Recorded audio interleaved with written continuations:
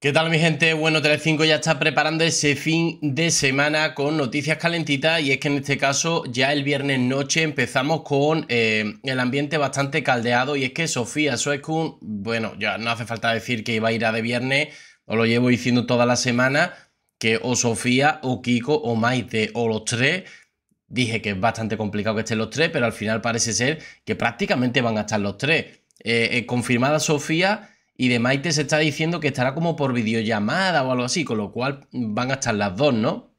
O va a estar al teléfono. Y Kiko Jiménez, bueno, cuando se dice que va Sofía, Kiko Jiménez también estará allí, ya sea en el plató o ya sea apoyándola. Eh, entiendo que de invitado, que al final también entrará a hablar, aunque sea entre comillas gratis, aunque bueno, ya sabéis que esto se gestiona por manager. Estamos hablando de, altas cantidades, se habla de hasta 150.000 euros, superaría hasta ahora eh, lo que más se había pagado en De Viernes, que eran 100.000, según se ha dicho, ¿vale? Y bueno, vamos a ver porque Bear Chidona le han mandado una serie de mensajes y ha habido uno que incluso no ha podido leer porque es de alto voltaje. Entiendo que esto es para cebar, ¿vale? Aquí no somos tontos, es para cebar, no es que no lo pueda leer, sino que se tienen que guardar cositas para De Viernes. Y vamos a ver, vamos a ver qué es lo que le habría mandado esos mensajes de Sofía Suezkun a Chidona. Es que hay una persona que me está mandando, es que lleva un, buen rato con ese mensajito escribiendo, escribiendo. Bueno, entiendo que de Sofía al equipo de Tardear y de Tardear a Bear Chidona, pero bueno, son de Sofía. Escribiendo. Tengo eh, lo que podría estar contando, sí, varios titulares de lo que está contando Sofía ahora mismo en estos momentos. ¿En dónde lo cuento ya? ¿Dónde va a dar la entrevista?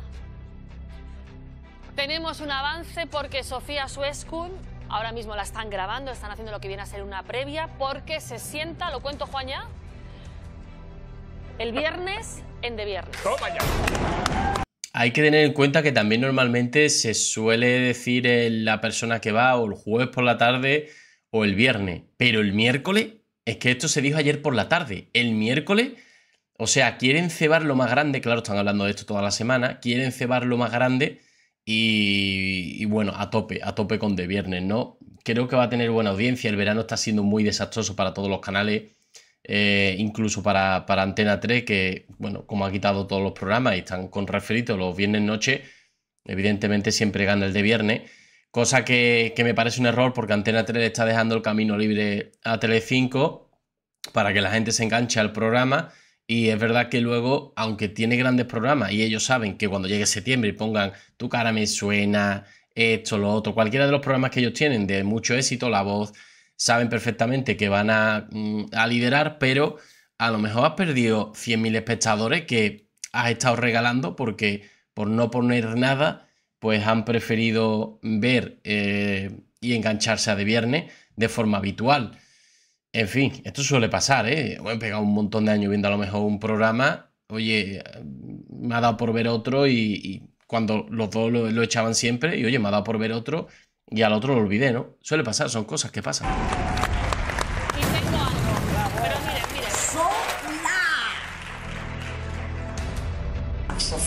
Echado de casa. Maite necesita ayuda. Mi hija está anulada por el ser que tiene al lado. Quiera Sofía para ella en propiedad. Sofía, por favor, perdóname. Sofía lo pasa fatal. Han interpuesto una orden de alejamiento a Maite. Ya no os quiero ni ver sin vergüenzas. Wow. Sofía está dispuesta a hablar. Voy a adelantar algo. He movido mis hilos, Juan. Hombre, La audiencia va a ver cuál es la cara B de Sofía, que no se ha visto hasta ahora. Lo que hay detrás que no se ha visto hasta este momento. Y entramos en el meollo. Con mi madre pasa algo, una situación en la que yo me miro al espejo y me digo a mí misma, no puedo más. Esto no es algo de ahora, es algo que viene de muchos años atrás. Esto lo vienen denunciando ahora que están saliendo a la palestra los Alejandro Albalá, Hugo Paz, exnovio, expareja, Suso. Bueno, no, Suso no tanto, Suso no, no ha querido entrar, está, está sido políticamente correcto. Pero el resto de novios están saliendo a decir que, bueno, que Maite era una mujer muy complicada, que se te metía en la habitación, que se te metía desnuda, que se te metía en el cuarto baño, en fin, una serie de cosas que ella ha ido aguantando, ella ha ido diciéndole a todos esos novios, no, no le eches cuenta, es que mi madre es así, jaja, ríete.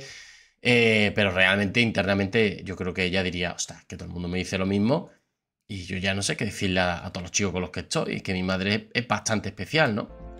Por sus celos hacia mí y su absoluto control. Y no puedo, ahora mismo ya no puedo. no- A ver, que yo entiendo. Mira, Sofía regala su vida por... Bueno, regala. Vende su vida por Instagram. Tiene casi me- millón y medio de seguidores.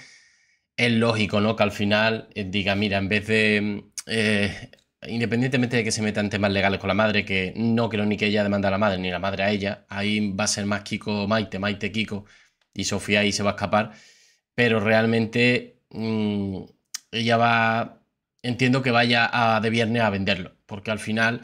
Ostras, le van a pagar un pastizal, pero un pastizal eh, en un momento que acaba de ganar también mucho dinero, ¿verdad? Pero mira, ha surgido esto ahora y para que le pregunten por la calle y vaya respondiendo, lo vaya soltando gratis, yo entiendo que vaya, ¿vale? O sea, yo aquí, por ejemplo, cuando he criticado a Carmen Borrego, a Terelu, a Alejandra Rubio y al final han vendido sus cosas, eh, pero es por la falta de coherencia, ¿vale? Yo aquí, por ejemplo, no tengo nada que decir.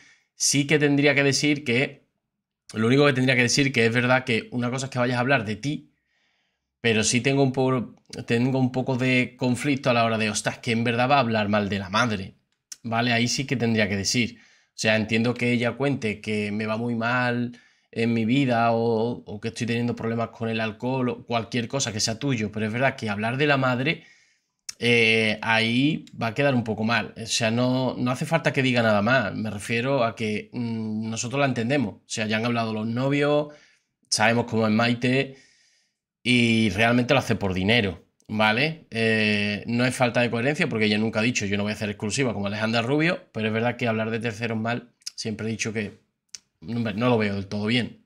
no me autorizan a leer más. Me crea mucho contenido, pero no lo, no, lo- no lo puedo ver bien. Es que está hablando mal de, la- de Maite. Otra cosa es que me diga, no, es que he tenido un conflicto en Superviviente con alguien y voy a hablar de ella. Eso sí, al final es normal, ¿no? Sí, no, ya, ya demasiado. No puedo leer más, hay más texto, pero bueno, voy a intentar que a lo largo de la tarde me den permiso a contar más. Van a ver cuál es la cara de Sofía. Con mi madre pasa algo, una situación. Hay un episodio que parece que nos hemos perdido y que no sabemos Sí, de qué va. sí, sí, yo sí lo sé. En la que lo yo me miro al Sofía. espejo y me digo a mí misma, yo no puedo más, no viene de ahora. Va a contar lo más grande. Fijaros que, que estaba hablando Hugo Paz ayer, el exnovio, diciendo, bueno, yo es que os estoy contando un 5%, os estoy contando algunas vivencias, algunas anécdotas que son poquísimas, o sea, es que, y tampoco fue un chico que estuviera mucho tiempo, que estuvieron creo que fue un año y un año por ahí, y, y no vivían juntos, es decir, que tampoco es que estuvieran un año a piñón, sino que era él viviendo en Madrid, ella en Pamplona, o sea, que no es un año real, ¿no? Que se veían los fines de semana y poco más. Viene de años atrás por sus celos y su control. No es una que carga- yo a creo ver, que Sofía no lo había reconocido Es una y no había puesto arrastra- eh, definición al tipo de relación Es con su madre de carga, este tipo. ¿eh? es una carga que arrastra Sofía desde hace mucho tiempo, pero que yo creo que todos más o menos la hemos visualizado a través de televisión. So- Puede ser que Sofía os haya dado cuenta con el tiempo y haya dicho hasta aquí llegamos, o puede ser que empujada también, no sé si va a una terapeuta, a un terapeuta, un psicólogo que le haya dicho, oye, mira, te está pasando esto, eh, por todo lo que me estás contando de tu madre, eh, tiene un problema, ella tiene un problema, eh, tiene que tratarse y, está haciendo que tu relación pueda llegar a ser tóxica y, y corte, no con tu chico, sino con cualquiera de los chicos con los que estés. Porque esto no te va a pasar con Kiko, te va a pasar con el resto de chicos con los que tú estás en tu vida. Entonces, el problema está en tu madre. O cortas con ella o se trata. Me imagino que Sofía intentaría, antes de todo esto, decirle, oye mamá, ve tal cual. No, yo estoy bien, yo estoy bien. Pero ya cuando le mandó esos mensajes Maite a Sofía, ¿vale? Para que los que no hayáis estado tanto los últimos días, por lo visto Maite a Sofía le mandó un mensaje bastante duro antes de entrar el superviviente, diciéndole que se iba a cargar la relación, que ese tío no valía un duro y poco más que era un mojón, ¿no? Son personajes que hemos conocido a través de un reality y que ellos mismos en sus redes sociales se muestran como son y hacen su propio reality. Y sabemos cómo es la relación de Sofía con su madre, No, su madre no, con Sofía Jorge, y lo con que, Kiko. lo que desconocíamos, porque Sí, que hay sabíamos un lo, hecho- que, la- lo que eran los personajes y cuando la, la puesta en escena que tenían y eh, podíamos intuir cosas. Pero de verdad, el día que el, otro día, cuando Sofía emite ese comunicado en sus redes sociales diciendo que ya no puede más, que hasta aquí ha llegado, que su madre necesita ser tratada y que se tiene que poner en manos de especialistas, descubrimos que detrás, y ya nos hemos puesto a indagar, hay una vida de muchos años de intentando e intentar proteger a esa niña, esa, esa chica, a su madre, porque no estaba. mm, Pero, Marisa, en es verdad- condiciones. Espera un momento. Y hay una historia que sucede, vuelve Sofía del, del reality. Y sucede un episodio en casa entre las dos, no estaba Kiko ni nada, entre las dos, que es lo que en ese momento la gota que colma el vaso. Y dice Ajá. Sofía, hasta aquí he llegado, te vas de mi casa. Y ella se va y entrega las llaves. Bueno, Luego salta la valla y sucede otra cosa peor, que es por lo que se le ponen las denuncias. A ver, me vais a perdonar, pues todo el mundo está esperando a saber. A ver, evidentemente todo- eh, hay siempre algún punto de inflexión que, que es la gota que colma el vaso, pero que, que estaba más que justificado que Sofía dijera hasta aquí llegamos, pues sí. ¿Qué piensa Maite Galdeano? O sea, es que no, no sé si os imagináis estar durante no cinco años con, solo con Kiko, sino con los anteriores parejas, medio conviviendo con, o sea, el rato que, o sea, el fin de semana, si por ejemplo Hugo Paz lo pasaba con Sofía, Maite estaba. Si era con Alejandro Albalá, Maite estaba. Y era como, tío, eh, yo quiero estar contigo. O sea, yo no he visto una, una persona que, que conviva con, con su madre, a no ser eso, que sea una mujer impedida, que la tenga que ayudar, que tenga 80 años, que tenga algún problema, pero con una Maite, pff, madre ¿no? mía. De que su hija se siente en de viernes en estos términos. Esta la primera, sí.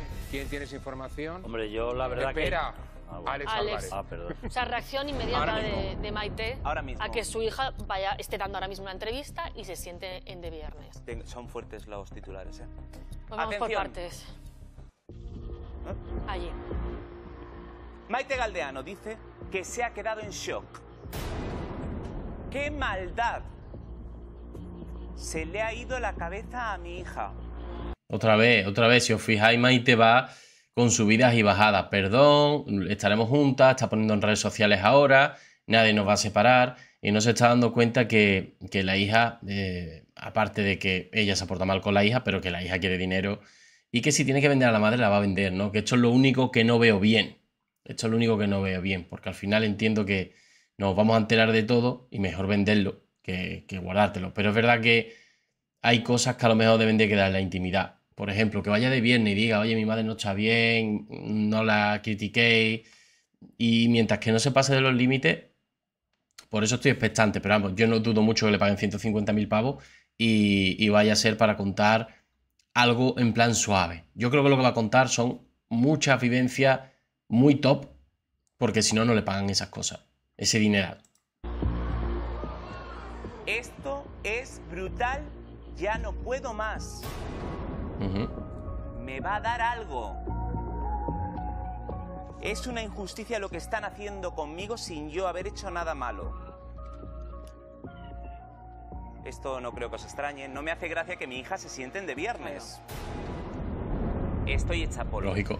Maite Galdeano ahora mismo cuando son las 7 y 28 minutos. Pero Maite Bueno, mi gente, lo dejamos por aquí. Eh, Sofía Suescun se sientan de viernes para despotricar de la madre a cambio de 150.000 euros. No sé si lo veis bien, si lo veis mal, si, justificáis de que, bueno, después de lo que ha hablado Maite, que también es verdad, ahí sí le tengo que dar un poco en parte la razón a Sofía. Eh, si ha despotricado tu madre de ti, pues ella dirá, bueno, pues ahora me toca a mí, pero con dinerito de por medio. En fin, ¿creéis que es un montaje? ¿Que Maite se le ha ido un poco la pinza con esto? Hemos visto que la herida de la pierna, bueno, le vimos con un apósito impresionante, con un tiritón, y al día siguiente no lo tenía, y no tenía rasguño. No sé si lo veis como una especie de, no sé, de, montaje que, bueno, que quieren aprovechar los tres y luego los vamos a ver dentro de un mes o dos juntos, viviendo juntos como si nada. Me lo dejáis en comentarios, nos vemos en el siguiente vídeo con más información. Un saludo.